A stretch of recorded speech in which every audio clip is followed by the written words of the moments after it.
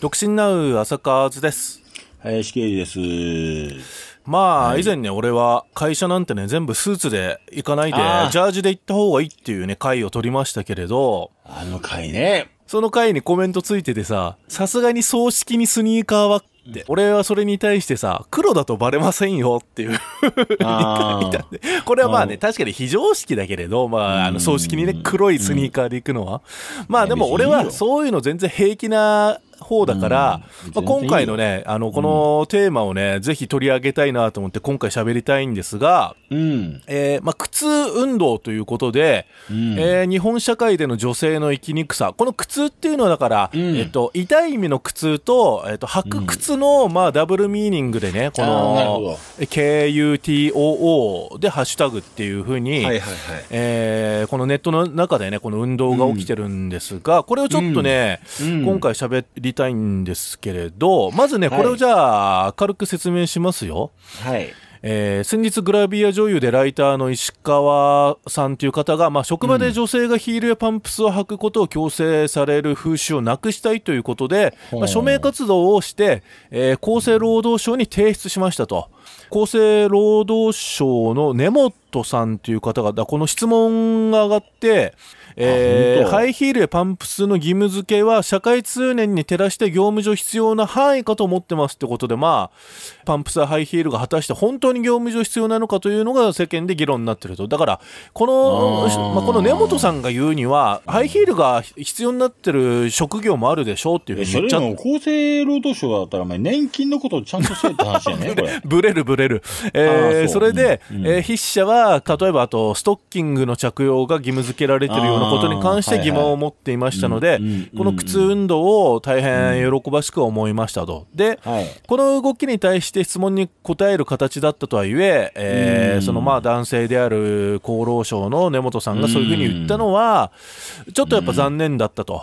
厚生労働省側からそれは確かにうん必要ではないって言ってほしかったんだろうけれど、まあちょっとそこがね、日本の男性遅れてるっていうふうに、まあ今回この人はまあ書いてるんですよ。で、外国と比べてなんですけれど、うん。えーまあ例えばね、ドイツなんかは、もう本当に女性なんかはそういう職場でも普通にスニーカーとかシューズとかそういうのを履いてるし、一つね、例が上がってて、えっ、と、ドイツのメルケル首相ね、はいはいはいはい。が、あの、天皇陛下とね、あのーお会いした時に、写真が載ってるんですけど、普通の靴なんだよね。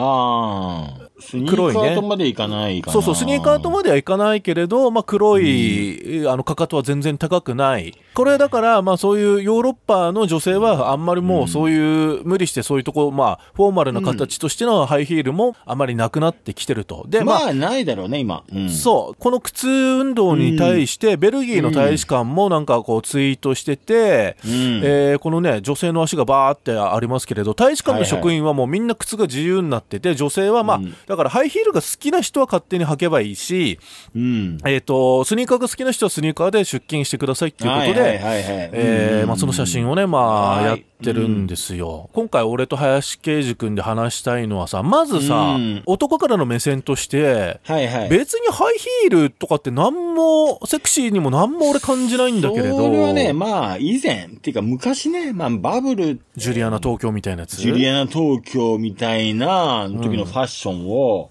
えー、べ、えーっと、ベレコンじゃん、ベゼネコンじゃないわ。えーボディコン。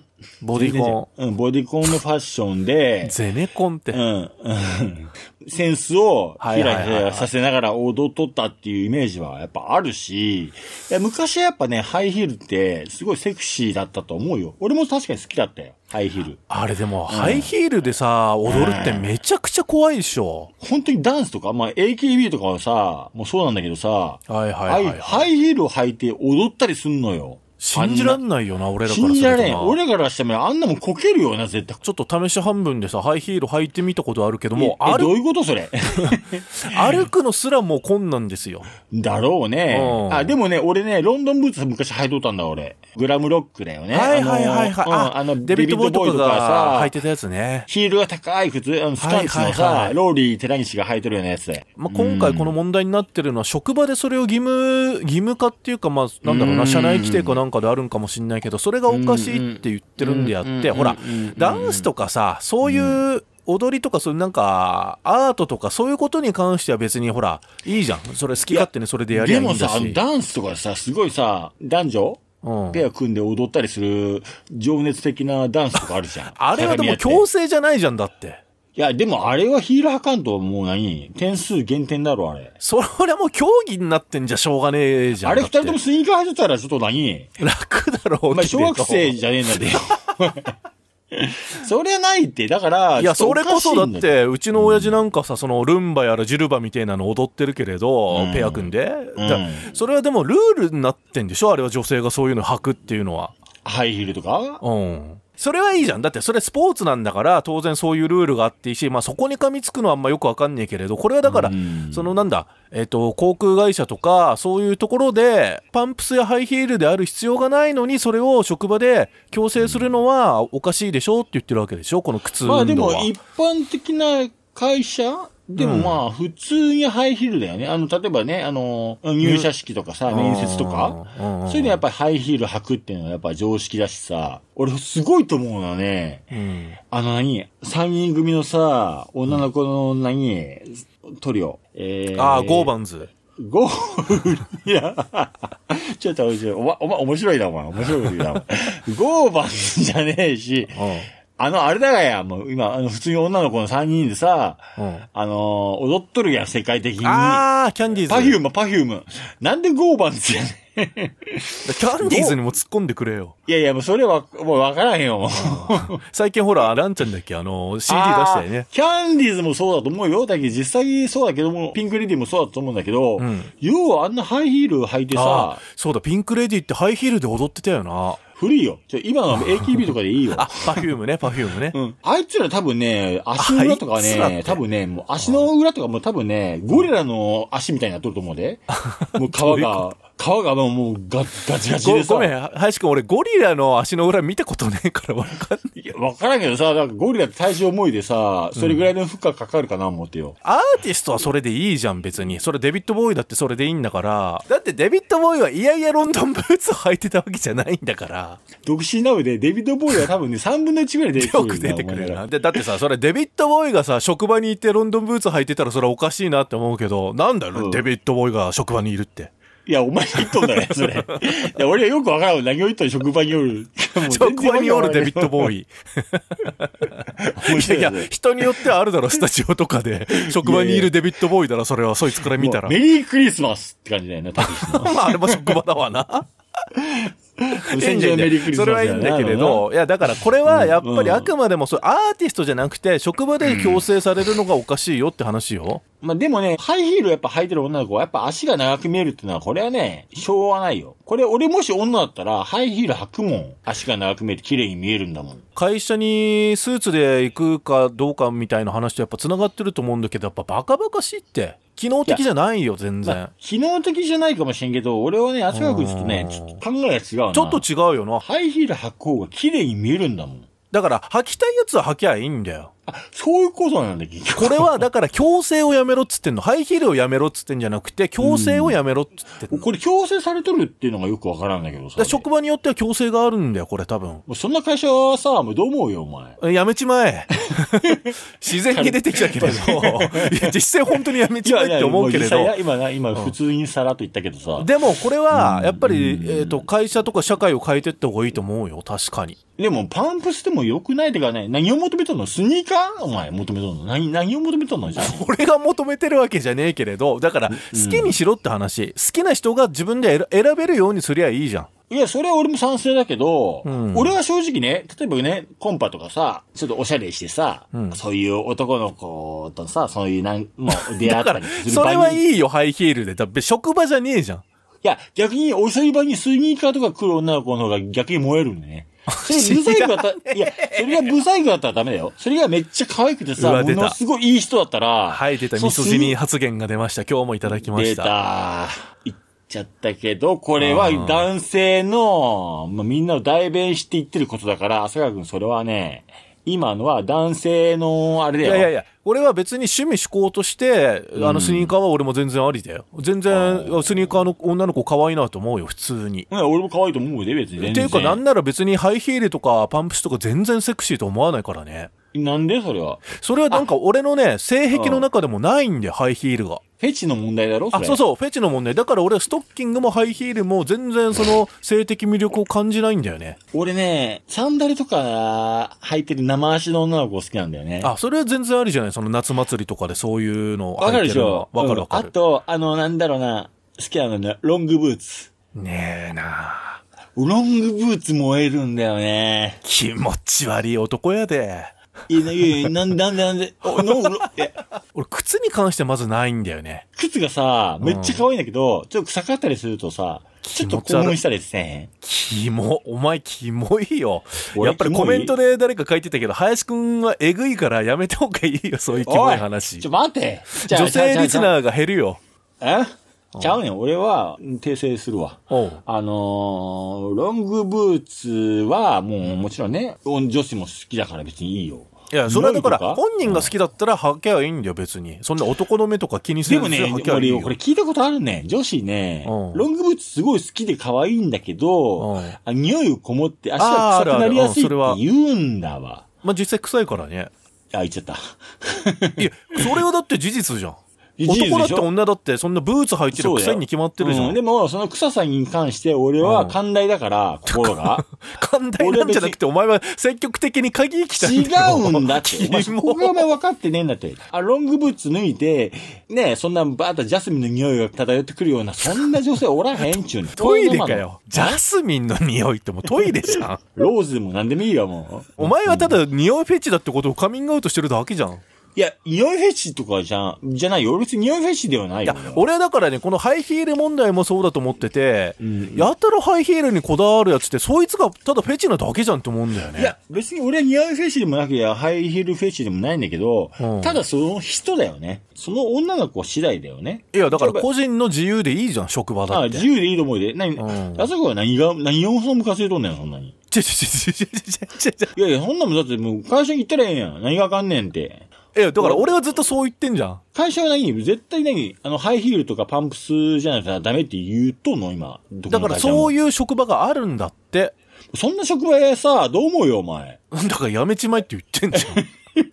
トーン落として言ってみたけど今じゃあ、。まあ、やめちまえのトーンがどんどん落ちてくやんけ、もう。いや、これはマジでやめちまえって思ってるから、うんお前みたく茶化さずに、俺は本当にやめちまえって思うよ。あでもそんな企業俺あるとは俺、おあんま思わなかったね。それはだって俺ら男だからさ、そこを意識しねえじゃん。その、だってどっちかってやっぱスニーカーの方が足に優しいしさ。いや、絶対そうだよ。今ね、ちょっと参考記事読んでると、まあ、空港、ホテルなどが、まあ、義務のところが多いんだって。あ、そういうとこまでってこと？要するに小売業とか、まあ、えっ、と、サービス業に多いんだよね。まあ、接客業だね。ああ、でもね。そこですよ、そこですよ。だから、俺は接客業の人も別にスニーカーで全然いいけどね。ああ、でも極論で言うとぶっちゃけさ、スウェットの上下でもいいし、全然パジャマでもいいし、いいようん。ネグリジェとかでもいいわけやろ？まあまあ、TPO によって、その職場によってそれは当然違うけれど、それはホテルのフロント業の人が、あの、スウェットでやってたら変だなって思うし、うんまあまあ、それもありやよ、俺別に。キャビンアテンダントが、ネズミ色のスウェットで、なんか、なんとかプリーズとか言ってきたら、いやそれもありりだと思うで、俺なちょちょっと恐ろしくなるけれどい、や、でもそれもありだと俺は思うけどね。お前それ逆で言ってるだろ。あの人たちがさ、スウェットを着たことによって、飛行機が墜落することなんかないわけじゃん。だから、もう今ほんとわからんよ。逆にあれメイド服でもいいかもしれんで、今の場合。そうだねううんん、CA の人がみんなメイド服だったりとか、コスプレはどうでもいいんだけど、このほら、うんこの場合の靴ってのは要は足にダメージがあるからダメだよって話。そこなのよ、このだったらさ、中心はもうそん。なさ、足にとって負担がかかるというのがさ、お前どう思うよ。うーん。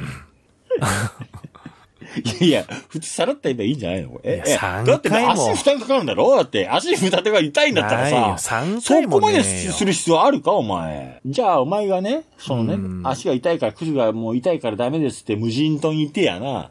紙に、もう、ハイヒール履くのきついんで、私は無人島に来て、もう裸足で楽に過ごしますって言って、ペットボトルか瓶かわからんけどさ、そこに手紙を入れて、流したとしましょう。うん。ブワーっと帰ってきたっていうさ、それすらみんな、私も私も、私もハイヒールは足が痛いです。私もあなたの言ってることの賛成ですっていう曲ってあなたっけな、あれ。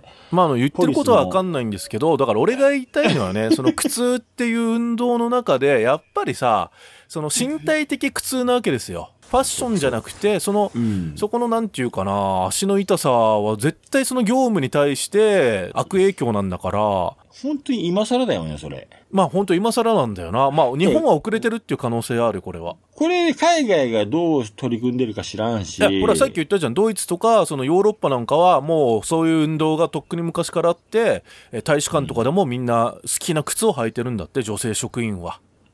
えー、そうなんですウエスタンブーツとか？うんだから本人がそれを望めばそれでもいいんじゃねえの？ゲータとか？でうん。もいいの？いいんじゃねえの？うーん。でもそんなこと言ったらさ、何履いてもいもう、もうむちゃくちゃやってくるじゃん。会社行ってさ、か 一人それは着物着常たり識の範囲ってもんがあるだろうよ。会社行ってさ、ジャージの人もおれば、スーツの人もおってさ、いやいや別に服はいいけれど何着物着てる人もおってさ、でそんなこと言ったらきりねえじゃんレオタード着てる、着てる人もおったりとかしても、わけわからなくなるんだよ、そんなこと言ったらそんなこと言ったらきりねえじゃん。俺はスーツの会とかジャージの会で一貫して言ってるのは機能的じゃないからやめろっつってんのよ。夏の暑い時にスーツ着るんバカらしいでしょって話。何がフォーマルで、っていうか、わかんねえな難しいとこだな、これな。まあまあ、文化的な要素もあるからね、単純に。うん。で、実際に、まあ、ネクタイぐらいはさ、別にネクタイ的苦痛はないからいいんだろうけど、このうんハイヒールとかう、んそういうのはやっぱその足、要はだ、健康害するから良くないっていうことなんだよね、結局ね。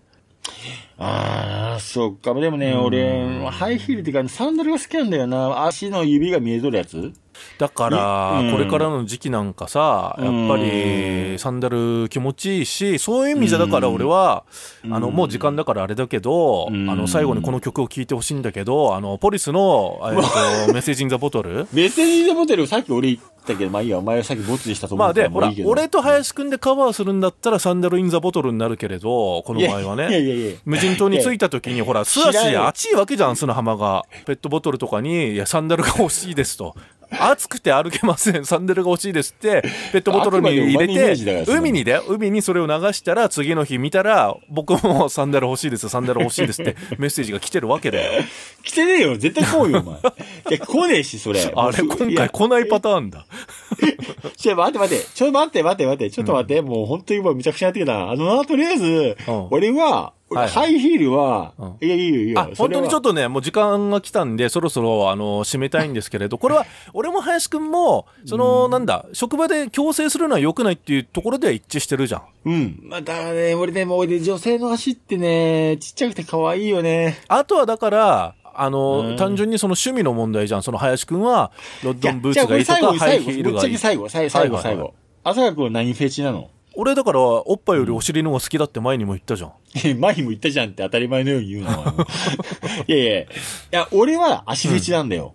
え、そうなんだ。そうそう、めっちゃ足フェチなんだよ。俺ね、あ、じゃあ足今回のあれじゃん、テーマはめちゃくちゃ林くん的にそうなんだはって、思うとこあるんじゃない？そうで、だから、だから言ったじゃん、あの、思うとこがじゃあ足だからハイヒールでもう、もう先っぽ切ってほしいねん、俺、あれ。5個思うとこあるよね。1兆個か。1兆個思うとこあるんだよ。まあ今、さっき、今5個って言ったよな、お前。